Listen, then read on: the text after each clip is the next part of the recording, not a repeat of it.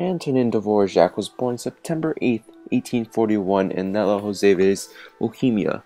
Dvorak became an accomplished violinist and then organist, studying at the Prague Organ School.